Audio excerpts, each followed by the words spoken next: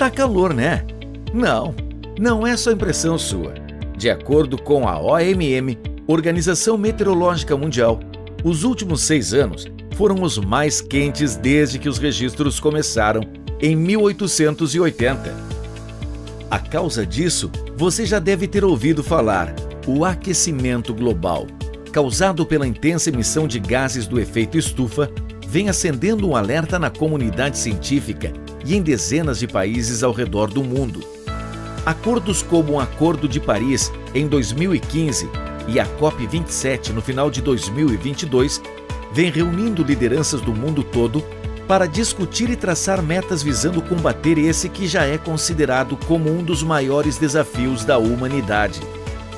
A meta desses acordos é uma só: diminuir a emissão de gases estufa.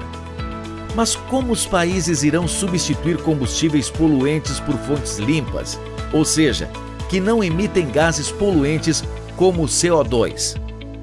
Bom, Energia solar e eólica são as alternativas mais conhecidas no momento, mas requerem condições geográficas específicas para sua implementação. Com isso, vem se difundindo o que está sendo chamado de combustível do futuro, o hidrogênio verde. Mas como extrair energia do hidrogênio?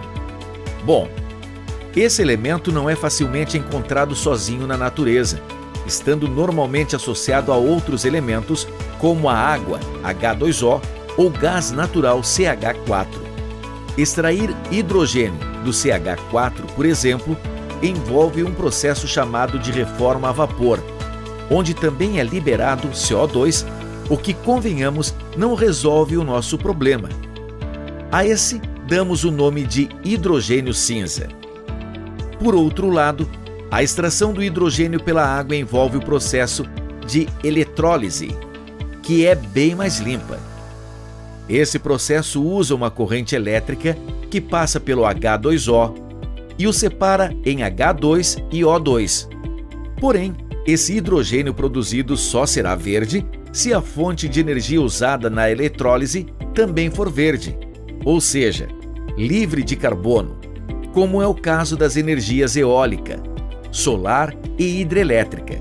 Esse hidrogênio, quando combinado novamente com o O2 através de uma célula combustível, irá liberar somente água, H2O, além de uma boa quantidade de energia que é até três vezes maior do que a liberada pelos combustíveis fósseis convencionais.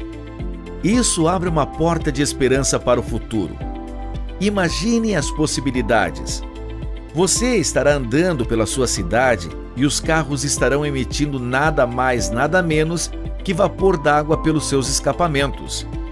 As indústrias poderão trocar seus combustíveis fósseis por hidrogênio líquido, aumentando o rendimento em até três vezes.